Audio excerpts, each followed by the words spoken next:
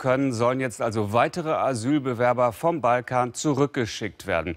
Zurück in den Kosovo zum Beispiel, der dafür als ein sicheres Herkunftsland eingestuft werden muss. Aber ist er das? Korruption, Mafia, das Land versinkt im Verbrechen. 40 Prozent Arbeitslosigkeit, Zukunft? Welche Zukunft? Und in genau diese Hoffnungslosigkeit stößt nun auch noch die Terrormiliz Islamischer Staat vor. Direkt vor unserer Tür. Eine Reportage von Arndt Ginzel. Vor seiner Ausreise nach Syrien war Waldet Gaschi aus Baden-Württemberg ein talentierter Sportler. Zweimal gewann er den Welt- und Europameistertitel im Kickboxen. Im Januar schloss sich der damals 28-Jährige den Kämpfern des selbsternannten Islamischen Staates an.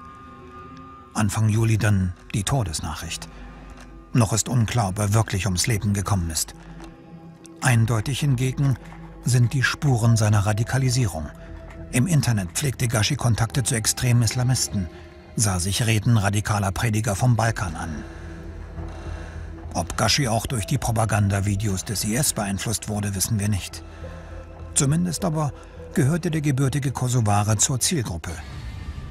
Wie in diesem aktuellen Propagandavideo wirbt der IS intensiv um Kämpfer. Auch um balkanstämmige Migranten. Wenn du kannst, lege einen Sprengsatz unter ihre Autos, in ihre Häuser. Wenn du kannst, vergifte ihr Essen oder ihr Trinken. Tötet sie, vergiftet sie, tötet sie, wo immer ihr seid. Terrordrohungen auf Albanisch. Bewusst setzt der IS in seinen Rekrutierungsvideos auf albanische und bosnische Kämpfer, erklärt der Südosteuropa-Professor Florian Bieber. Ziel seien nicht nur die Länder des Balkans. Wichtig ist, dass die meisten ähm, von ihnen nicht Arabisch sprechen können. Das heißt, da ist diese Rekrutierung in der Sprache auf Albanisch, auf Bosnisch ganz entscheidend. Wenn man sie nicht direkt ansprechen kann, ähm, dann ist auch nicht die Möglichkeit, sie zu rekrutieren für derartige Ideen. Somit sind also die Rekrutierungsvideos, die auf Bosnisch, auf Albanisch gedreht werden, ganz entscheidend. Und natürlich richten sie sich sowohl an jene, äh, jene Bevölkerung albanischen oder, ähm, oder auch slawischen Hintergrundes in den Ländern der Region selbst, wie auch äh, in Westeuropa, wenn sie aus diesen Ländern kommen. Dass die Hasspropaganda bis nach Deutschland strahlt, hat hierzulande der erste islamistische Anschlag mit Todesopfern gezeigt. 2011 erschoss ein Mann aus dem Kosovo in Frankfurt zwei US-Soldaten. Wir reisen ins Kosovo. Derzeit eine Hochburg der militanten Islamistenszene.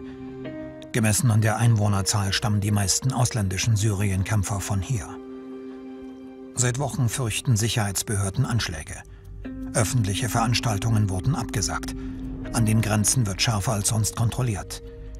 Wie konkret die Bedrohung ist, erfahren wir während der Dreharbeiten. Terroralarm an einem zentralen Wasserwerk von Pristina. Die Ermittlungsbeamten sind angespannt. Die, waren, die haben sich bewegt und danach äh, wurden sie beobachtet. Sind, ist da oben noch was zu sehen? Ich will meine, meine Arbeit nicht verlieren, sagt er. Okay. Ein unglaublicher Verdacht. Pristinas Trinkwasserversorgung, so fürchten die Beamten, könnte ein mögliches Anschlagsziel gewesen sein. Nachts wurden hier mehrere Männer festgenommen. Unter den fünf Verhafteten auch Syrien-Rückkehrer.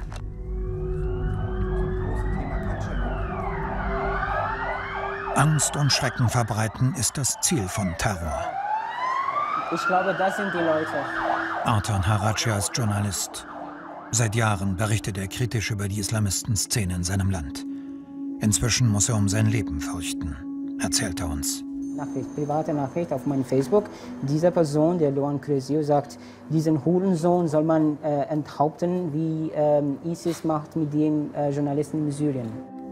Mitverantwortlich für den Hass und die Rekrutierungen seien vor allem die radikalen Imame die ihre Botschaften auch im Netz verbreiten.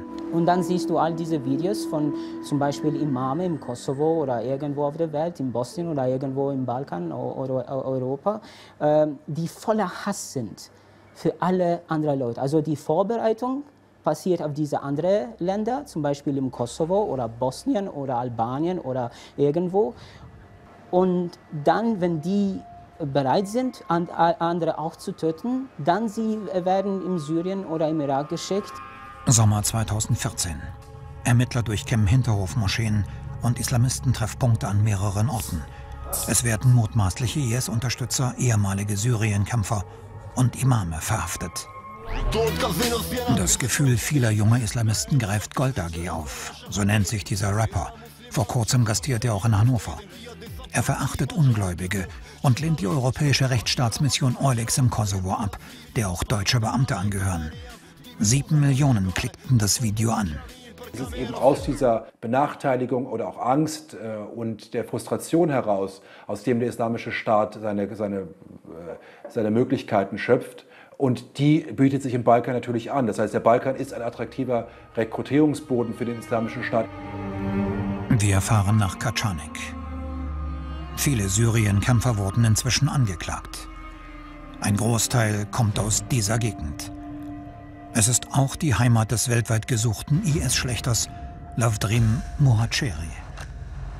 Seine grausamen Hinrichtungen erschütterten die Weltöffentlichkeit. Keiner weiß, ob Muhaceri noch am Leben ist. Seit einigen Monaten ist er von der Bildfläche verschwunden. Seine Rekrutierungsvideos richten sich an muslimische Albaner weltweit.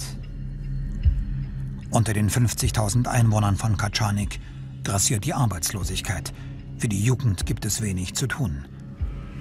Auch ihn zog es nach Syrien. Ehemaligen Kämpfern drohen bis zu 15 Jahren Haft. Senat, so nennen wir ihn, will daher nicht identifizierbar sein. Moageri kannte ich seit meiner Schulzeit. Bevor ich mich entschloss, nach Syrien zu gehen, traf ich ihn. Er erzählte mir und den anderen, was dort los ist. Lavdrim Muhacheri schloss sich bereits 2012 der Al-Qaida-nahen Al-Nusra-Front in Syrien an. 2013 kehrte er für kurze Zeit nach Kacanik zurück, bevor er sich dem IS anschloss. Er soll einer der führenden Köpfe bei einem Verband namens Islamische Jugend gewesen sein. Ein Sammelbecken junger Islamisten. In den Reihen des Verbandes fand Muhacheri schließlich neue Kämpfer. Auch dieser Mann ließ sich darauf ein. Wir nennen ihn Ibrahim. Die fanatischen Kämpfer flößten ihm Angst ein. Er floh aus Syrien. Sie suchen den Tod um jeden Preis. Diese Leute sagen jeden Tag, ich hoffe, dass ich heute sterben werde. Gott, mach mich zum Märtyrer.